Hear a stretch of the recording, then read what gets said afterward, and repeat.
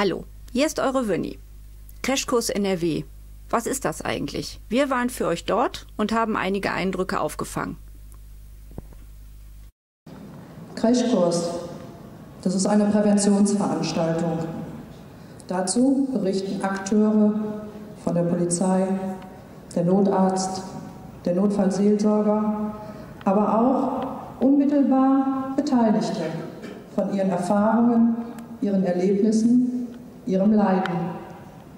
Hi, Merke.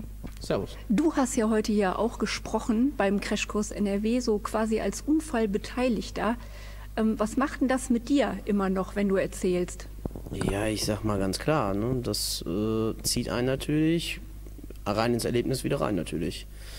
Es ist aber auch so der Punkt, dass man sagt, ähm, ich kann diese sinnlose Sache, dieser Unfall, der er kann nichts Positives haben, geht ja gar nicht. Ich habe ja. nur Leid und Schmerz durchmachen müssen, habe einen Freund verloren, den besten Freund sogar. Ähm, aber so kann ich wenigstens versuchen, die Sache mit Sinn zu erfüllen, indem ich hoffe, dass ich vielleicht einen dieser Kiddies, Jungs, Mädels irgendwie dazu bewege, zu sagen, hör mal, wenn ich jetzt mal fahre oder wenn ich mitfahre, irgendwie dazu bewegen, dass halt in Ruhe abläuft, dass ich da jetzt nicht irgendwie gar nicht, also zumindest nicht durch mein Verschulden irgendwie was produziere, dass man sich zumindest in der Hinsicht absichert. Hast du denn den Eindruck, du erreichst die?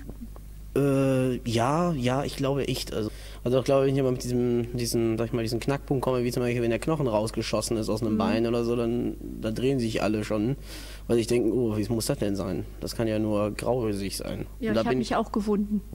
Ja, das ist halt so, wo ich dann sage, aber das ist ja auch auf einer Seite so der Sinn der Sache, damit sie wirklich merken, was das für Folgen hat und auch wie weittragend das ist. Ne? Hilft dir das denn bei der Verarbeitung? Wie geht's dir denn, wenn du sie jetzt so hier referiert hast, wie geht's dir dann am Tag danach oder in den Stunden danach?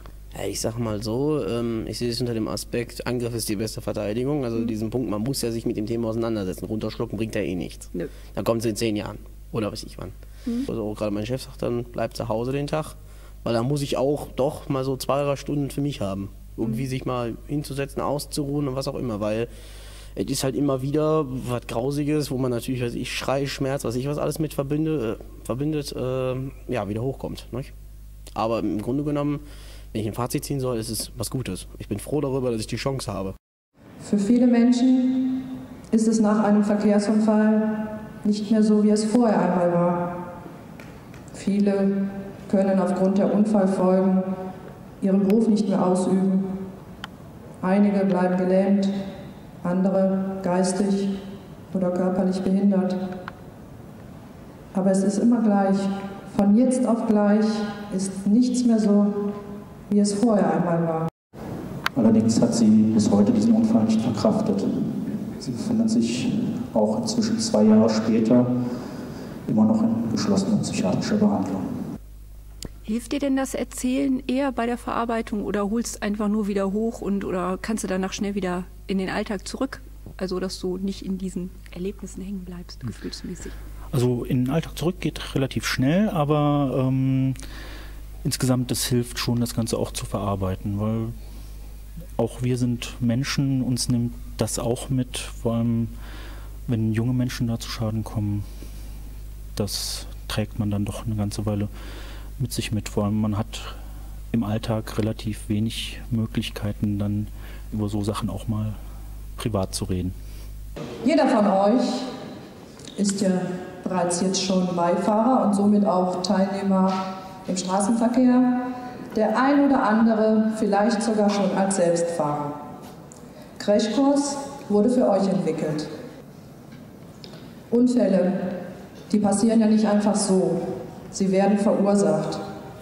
Demnach sind sie auch vermeidbar.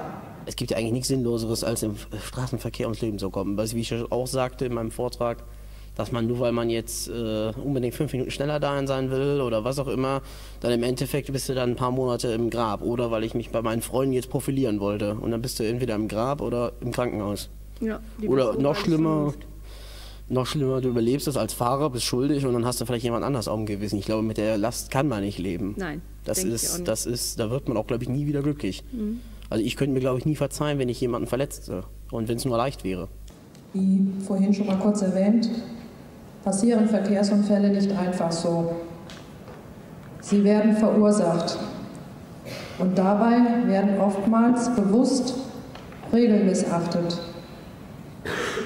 Es wurde zu schnell gefahren, wie die Kollegin schon sagte, Killer Nummer eins immer noch auf unseren Straßen. Man war nicht angegurtet, man wurde abgelenkt durch laute Musik oder was auch immer häufiger wird, durchs Handy, mal eben eine SMS schreiben. Funktioniert doch, alles easy. Oder es waren Alkohol und Drogen im Spiel. Also fahrt vorsichtig und überlegt, bei wem ihr einsteigt. Ich denke schon, dass mir das, wenn ich das, wenn ich das nächste Mal in ein Auto steige, dass mir das im Kopf bleibt und dass ich daran denke und sicherlich auch jetzt vorsichtiger bin. Wenn ihr euch in das Steuer setzt, übernehmt ihr Verantwortung. Nicht nur für euch, sondern auch für eure Mitfahrer. Achtet darauf, dass ihr nicht derjenige seid, der seinen Freund, seine Freundin zu Tode bringt alles, was Sie gesagt haben, war es halt für mich selbstverständlich, dass man sich zum Beispiel anschnallt oder dass man nicht zu schnell fährt.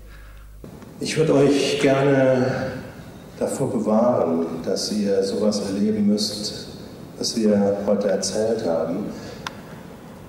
Ich merke aber, ich kann das nicht. Aber ihr habt es in der Hand. Macht was draus. Einerseits nimmt das einen ja schon mit, weil man empfindet es ja in gewisser Weise nach, wenn die das alles so erzählen. Mhm. Aber einerseits gibt es auch Sachen, die man dann irgendwie nicht nachvollziehen kann. Wieso haben die sich nicht angeschnallt oder so etwas? Also es ist teilweise so. Ah, da würdest du schon Wert drauf legen. Also da bist du schon sensibilisiert jetzt. Ja, also ich bin da schon sehr sensibilisiert für. Ja, ich werde darauf achten. Niemals, wenn man irgendwie einen Termin muss, zu viel Gas geben und auch niemals das Auto dafür nutzen, um andere Leute zu beeindrucken. Das kann wie in meinem Fall schauderisch schief gehen und das kann viele Leben einfach nur zerstören oder völlig auf den Kopf stellen. Was ihr dann aus diesem Gehörten macht, das liegt ganz alleine bei euch. Unsere Botschaft ist ganz einfach. Jedem Verkehrsunfall geht ein Regelverstoß voraus. Wer sich an Regeln hält, schützt Leben, das eigene, aber auch das aller anderen.